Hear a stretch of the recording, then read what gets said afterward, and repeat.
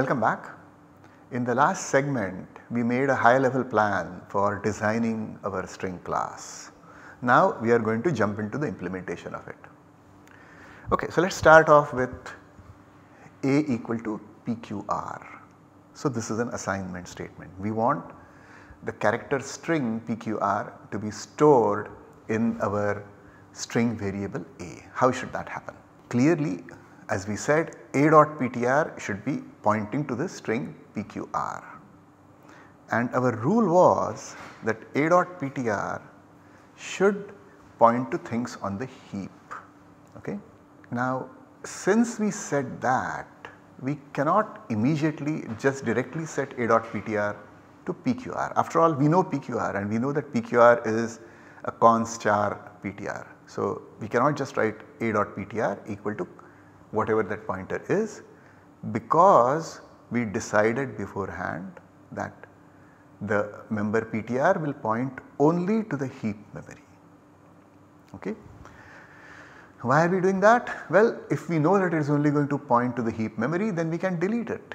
If we do not know that, if there is a possibility that sometimes maybe it points to the heap memory, sometimes it points to activation frame, then we cannot delete it.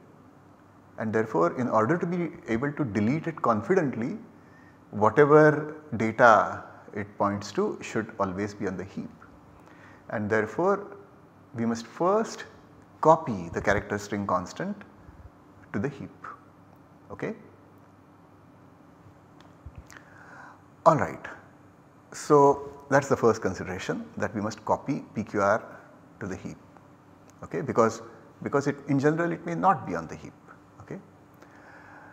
But then there is also another consideration. Okay.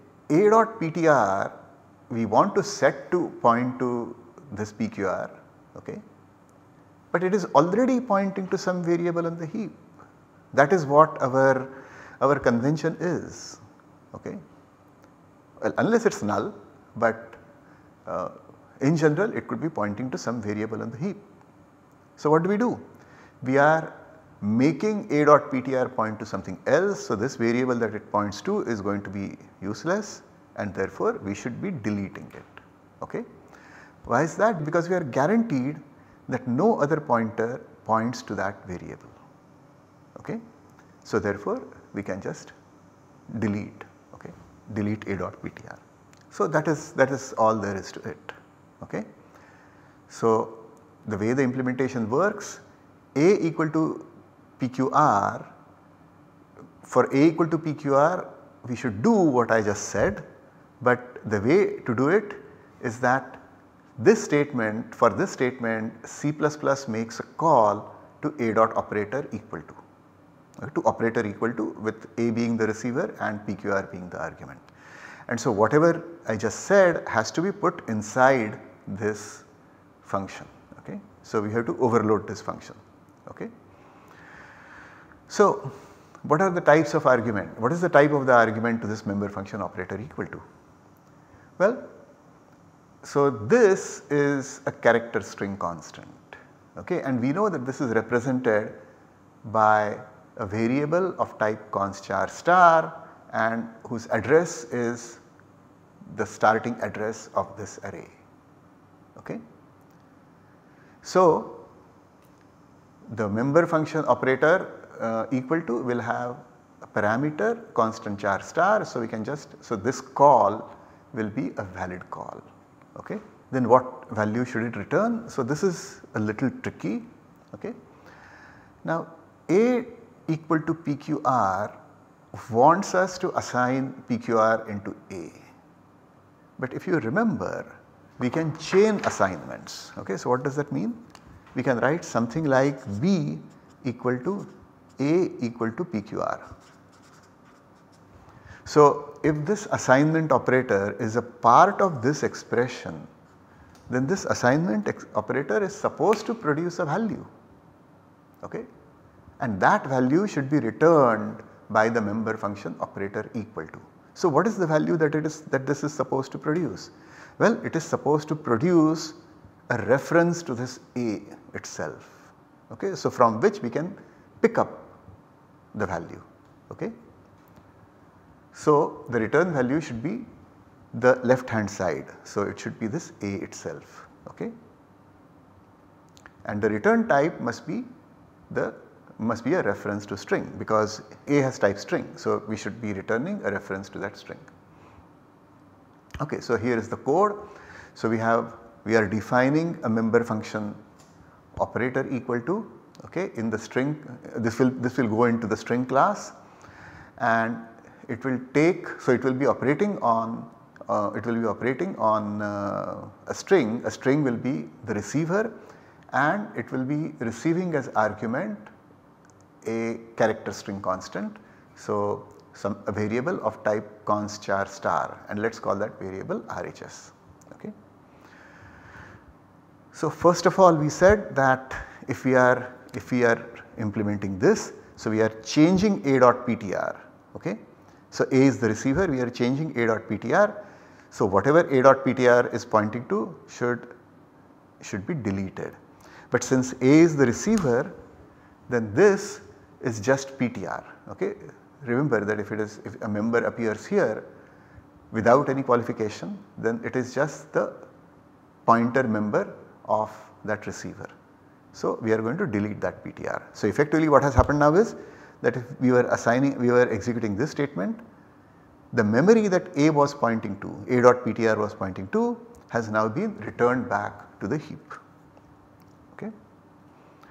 Now we said that we have to make a copy of this PQR on the heap. So how do we do that?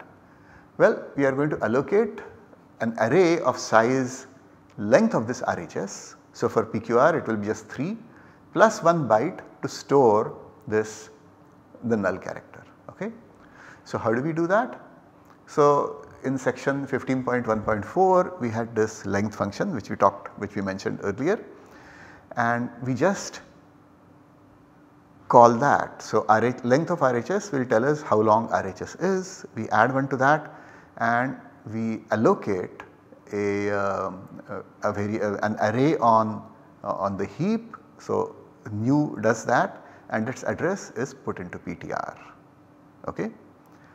So this is the array that has been allocated. We have not yet moved the data into it. So this whatever that string constant RHS is, it only its length has been used up, the data actually has not been used up. So the next step is to actually do the copy. So again we had this scopy function which is very simple which actually just copies every element of this into this until we reach the null and the null is also copied. Okay. So there is a simple loop but anyway you can get that function from this section.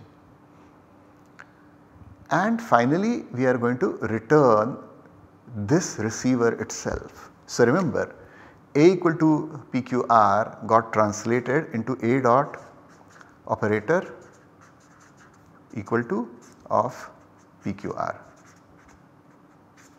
Okay. So this is the receiver and we want to return the receiver and here is how we return the receiver. Okay. So this is a special word in C++. Okay, so let me just explain that to you. Okay. So this is a C++ keyword and inside a member function this is a pointer to the receiver. Okay. So star this would mean the receiver itself. Okay. So here that is exactly what we want. We want to return the receiver itself. Why, why are we not returning a pointer? Because this says that we want to return a reference. Okay. This says we want to return a reference and the references and references are to variables. So here we should not be having pointers but we should be having references. So then a reference can be picked up. So we should write star this over here. Okay, so this is the keyword and this would mean the receiver itself and the value of an assignment var equal to expression is var. So the assignment must return var as the result and hence the returned value is star this. Okay. So that was assigning a character string constant to one of our string variables. But we would also like to be able to assign one of our string variables to another of our string variables. Okay. So we want to allow code such that A equal to B, A equal to PQR and B equal to A alright. So how do we do this?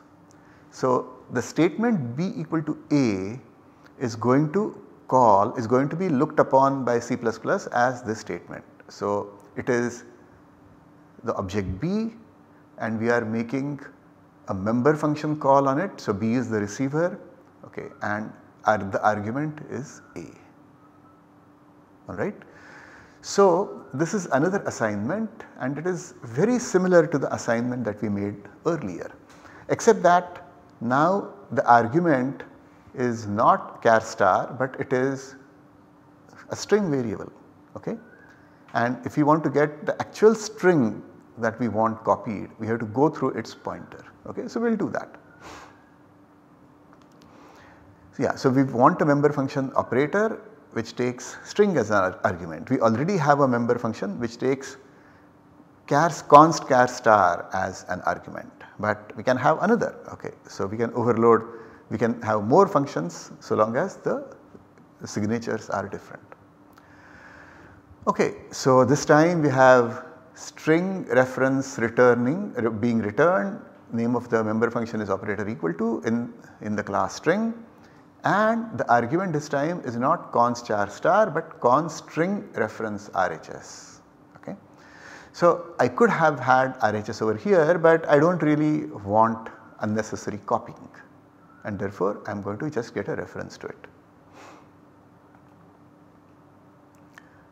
So we have to be a little bit careful in all of this okay and in principle our programmer is allowed to write something like A equals A.